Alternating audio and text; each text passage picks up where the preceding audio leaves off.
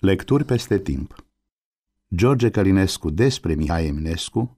Universalitatea unui poet, când o confundăm cu efemera notorietate, este împrejurarea prin care opera sa, zămislită în timpul și spațiu pe care le exprimă, iese din limitele epocii sale și ale țării unde a luat ființă și devine inteligibilă întregii umanități.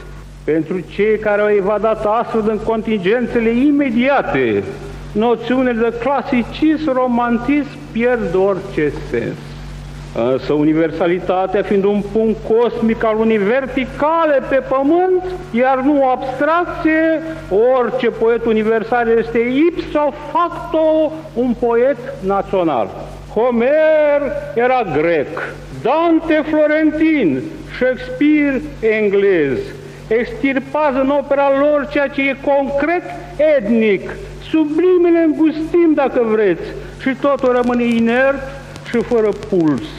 Universalitatea este o inimă individuală puternică și sonoră, ale care bătăi istorice se aud pe orice punct al globului, precum și în viitor.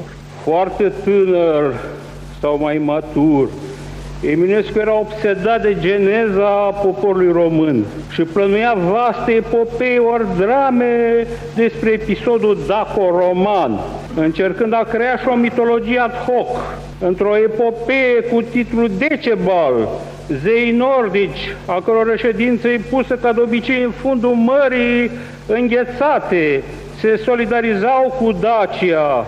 Dochia ar fi fost o vrăjitoare tânără, iar Ogur un cântăreț orb, un fel de Homer al geților, care însuflețind poporul dacă în lupta împotriva romanilor, ar fi fost târât de caii soarelui și ar fi căzut în marea înghețată. Acolo ar fi povestit zeilor Valhalei nenorocirea dacilor și aceștia ar fi hotărât să pornească năvălirea popoarelor barbare. Mai târziu, ieșind din vag, poetul punea pe Freia, soția lui Votan, să viziteze țările dunărene.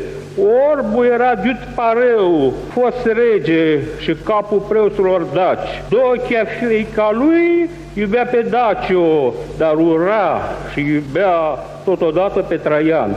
La căderea Dacii, Gândul ei este să emigreze cu resturile poporului, însă cu imaginea lui Traian înaintea ochilor și la iubirea lui, încremenește ca Niobe, foarte probabil pe muntele Ceahlău, numit de către Gheorghe Asachi Pion.